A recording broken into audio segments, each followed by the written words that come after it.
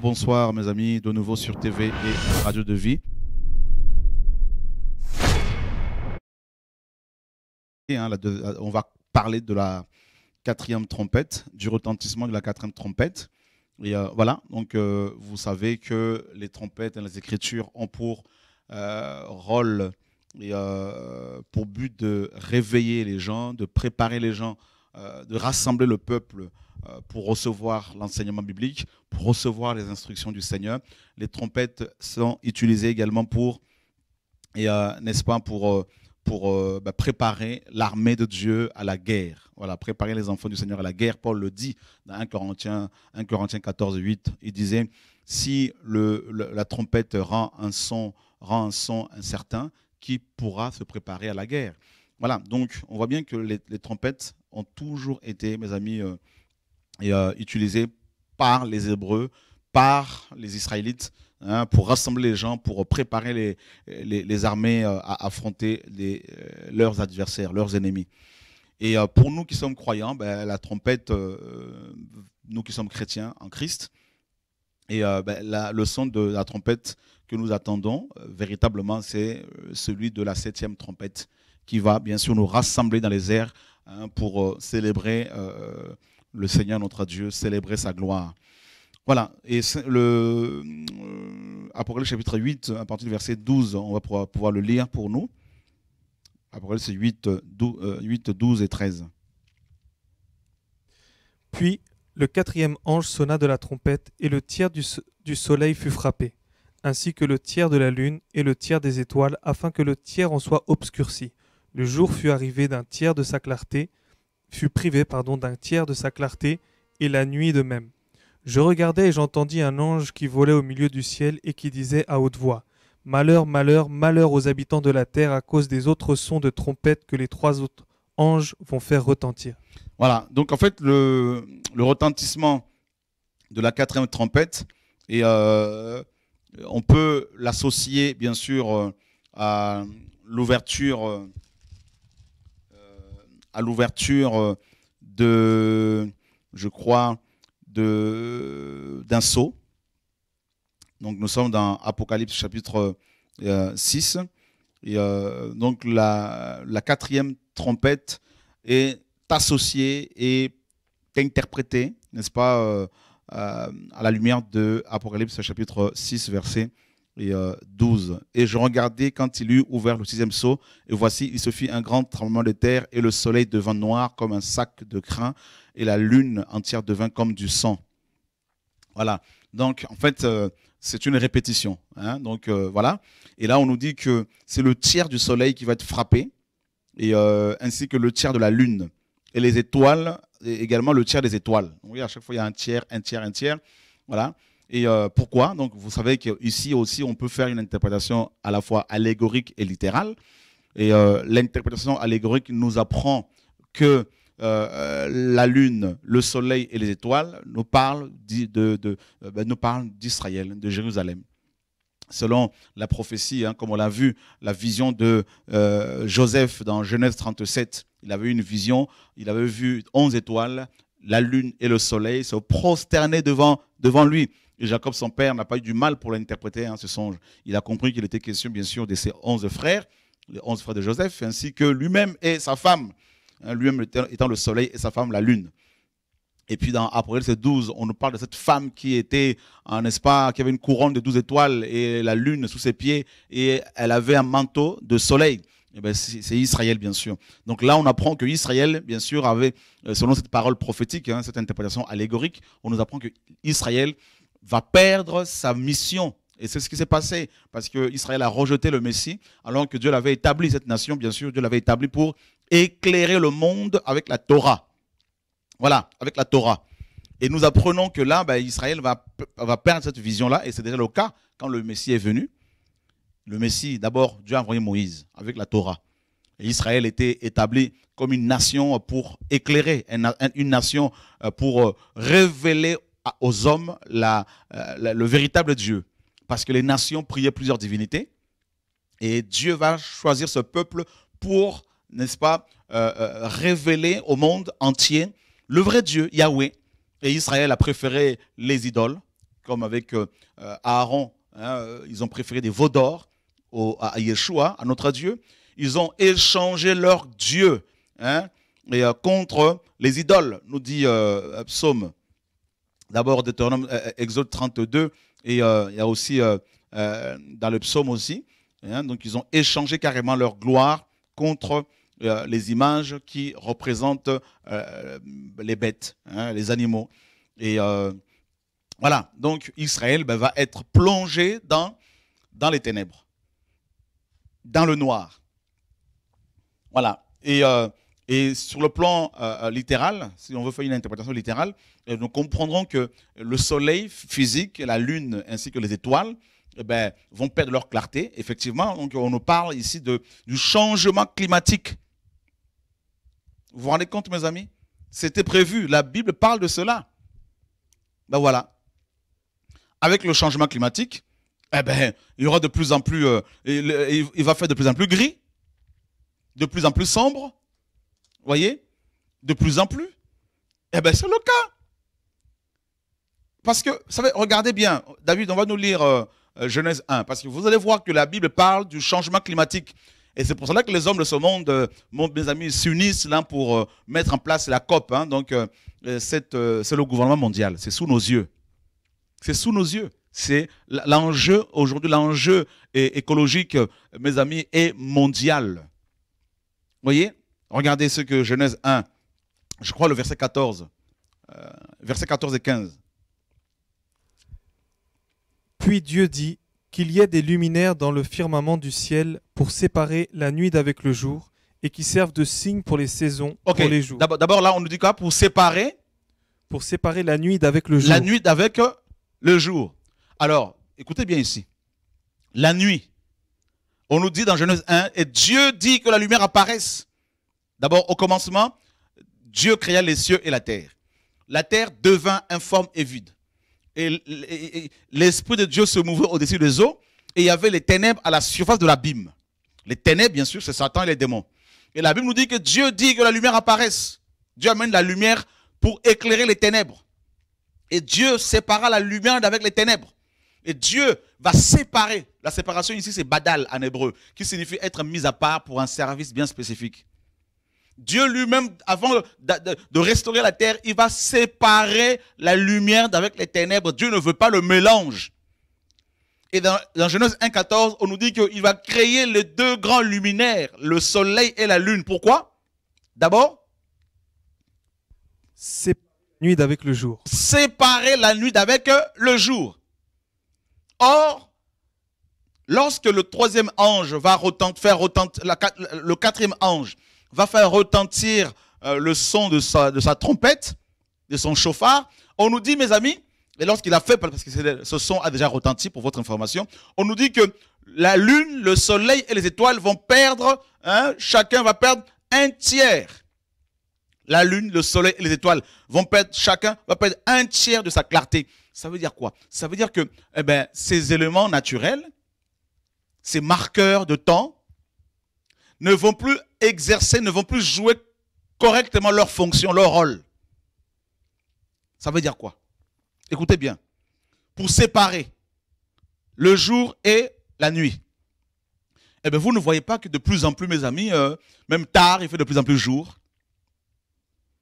C'est-à-dire, il y a un changement de climat, il y a un changement climatique. Le, le climat change tellement, la Terre est tellement polluée que, mes amis, ben, la Lune euh, et le Soleil, les étoiles notamment, n'exercent plus, plus correctement leur fonction. Voilà.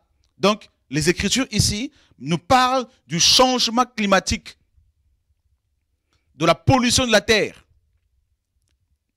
Regardez bien, hein. c'est le jugement de Dieu.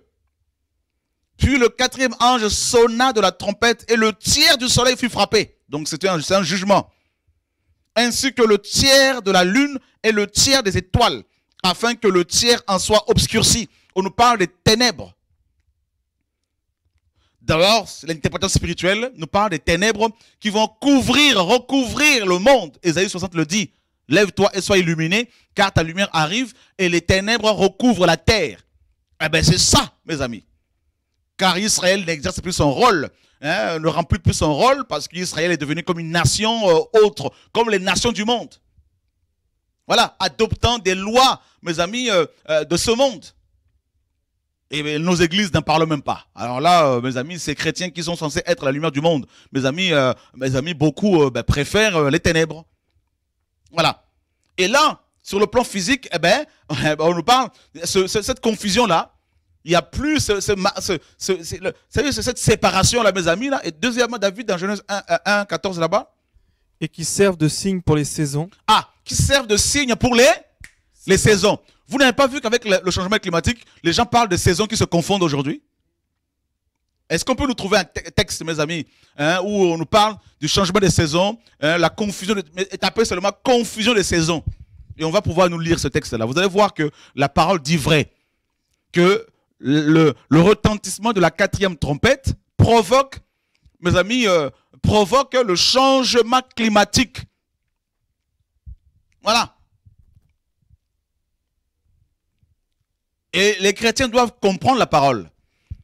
Vous voyez, les nations aujourd'hui s'organisent et on va taper aussi la COP, hein, donc 21, 21 euh, tout ça, euh, et, tous ces chefs d'État qui se sont retrouvés aux États-Unis. Vous allez voir, mes amis, que dans Apocalypse, dans le livre de l'Apocalypse, eh ben, tout est dedans. Dans la Bible, tout est dit. Dieu a tout dit. Et nous avons besoin de la parole véritable. Nous avons besoin d'être éclairés pour comprendre qu'on n'a on a, plus le temps, que le Seigneur est en train de revenir, qu'il faut se préparer pour son retour. Et ça, c'est terrible. Hein? Vous savez, je vais vous dire une chose, je vais vous avouer quelque chose. Je me disais que je vais faire un enseignement rapidement par rapport à la quatrième trompette, parce que c'est court, et je m'aperçois que Dieu m'enseigne en même temps que vous sur, mes amis, euh, cet aspect que je n'ai pas vu, c'est-à-dire la, euh, dégradation du climat. Hein? Et, ça, c'est terrible parce que euh, le soleil, la lune ne vont plus exercer leur rôle. Regardez ce que, ce que l'on on voit ici. Étant donné, donc voilà, alors on va essayer de lire un peu là. C'est bon là, le texte là, c'est bon? Donc, dans la plupart des zones euh, terrestres, on enregistre moins de journées et de nuits très froides ainsi que de jours de gel. La période sans gel, hein, sans gelée, s'est allongée dans la plupart des zones de latitude moyenne et haute. Dans l'hémisphère nord, on constate que le temps commence de plus en plus dans la grande partie, hein, dans de grandes parties d'Europe et d'Amérique du Nord, on voit par conséquent une arrivée précoce de phénomènes périodiques tels que l'apparition des feuilles et la floraison, la nidification des oiseaux. Aux latitudes hautes et moyennes, on enregistre aussi un allongement de la période de croissance des plantes. Étant donné le réchauffement global et les hivers plus doux dans de très nombreuses régions, nous voyons que des espèces se déplacent dans des régions plus au nord, plus au nord. De très nombreuses plantes et animaux nuisibles peuvent également étendre leur zone de distribution. L'agriculture est fortement dépendante du climat.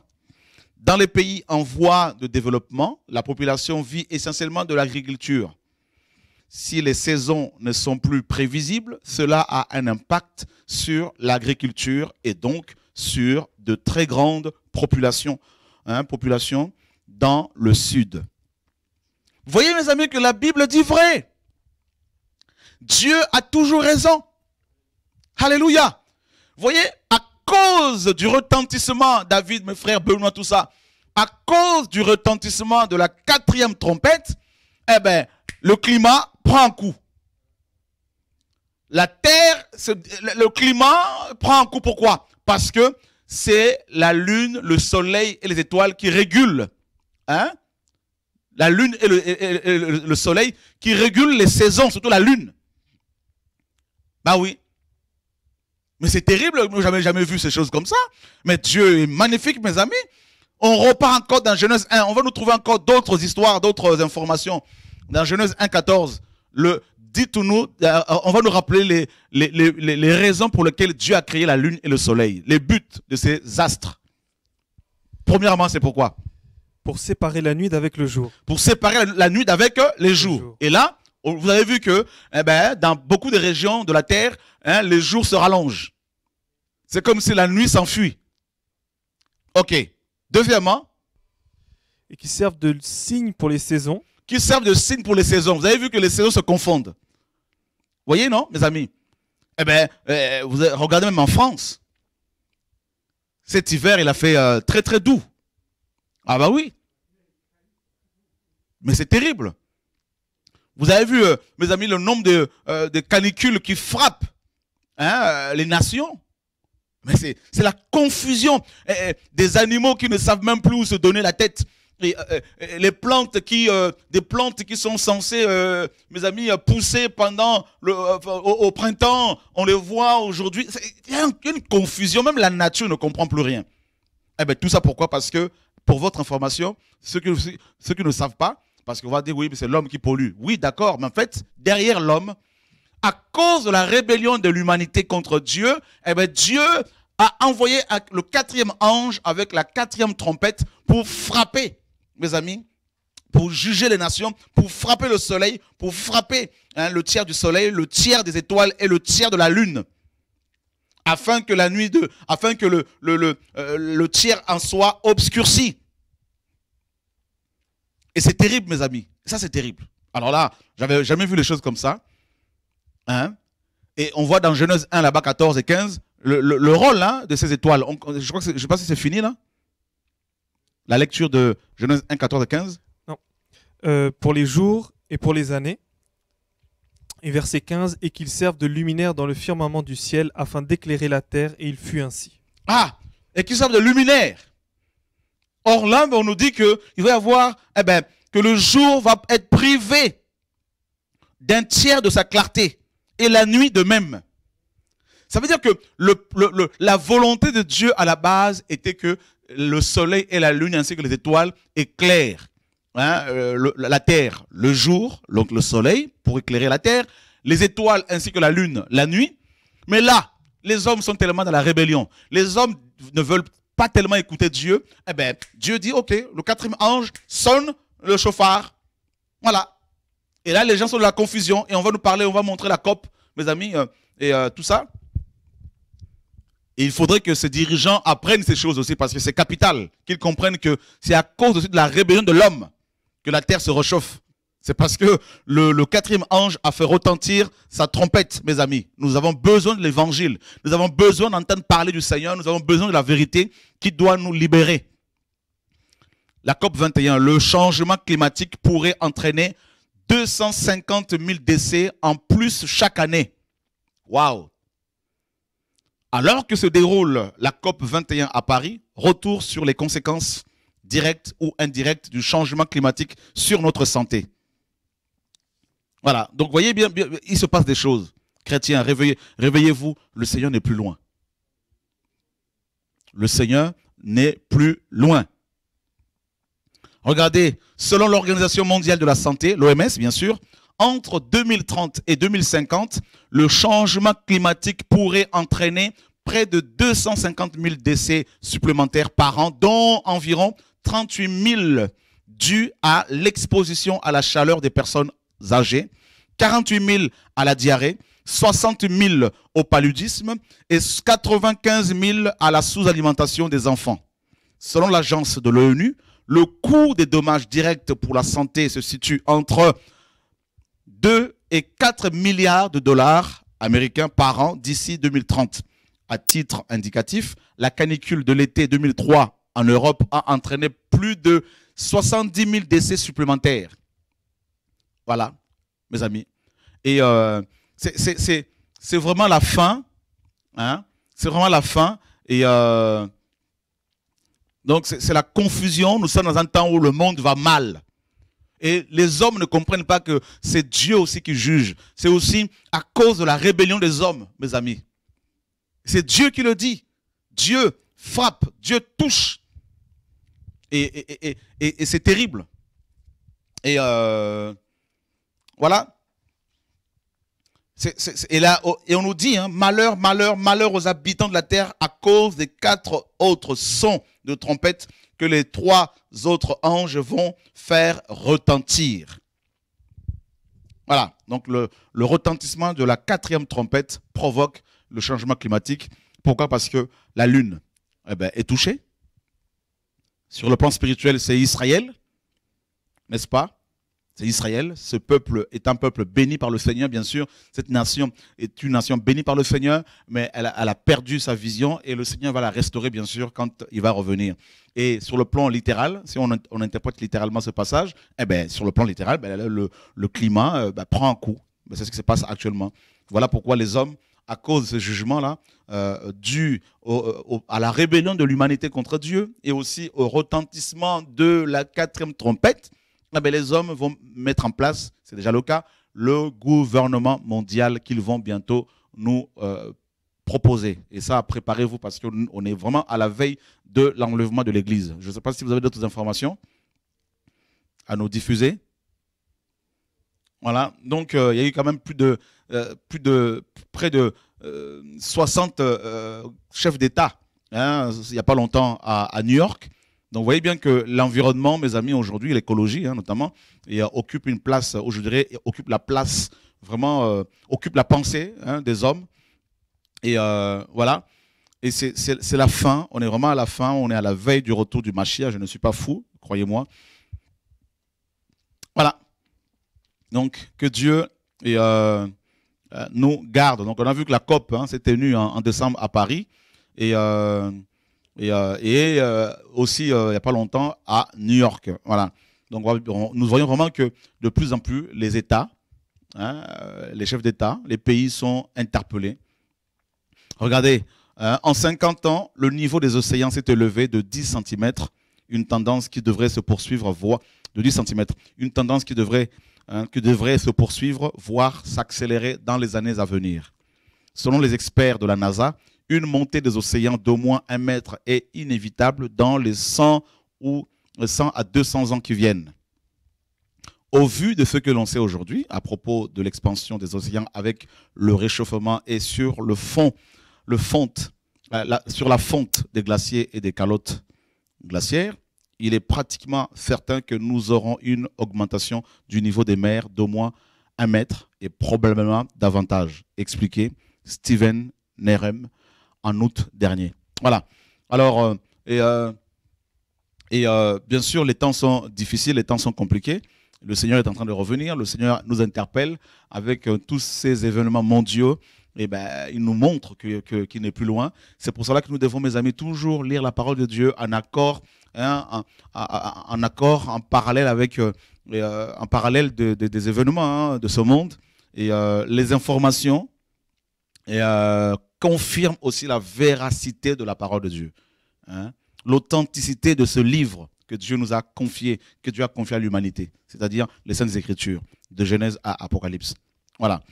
Et euh, donc, selon une étude du CNRS de 2014, euh, de 2014, 10 000 à 20 000 îles pourraient disparaître totalement au cours du siècle.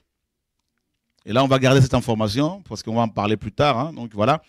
Et euh, que Dieu nous garde, mes amis, que Dieu nous garde. Alors, on va faire une pause encore de quelques minutes et on va revenir pour parler de la cinquième trompette. Voilà. Alors, vous pouvez nous appeler si vous le souhaitez. Et euh, on vous accorde deux ou trois minutes pour nous appeler, pour euh, éventuellement nous poser deux ou trois questions. Que Dieu soit béni. Je veux chanter sans sa nom.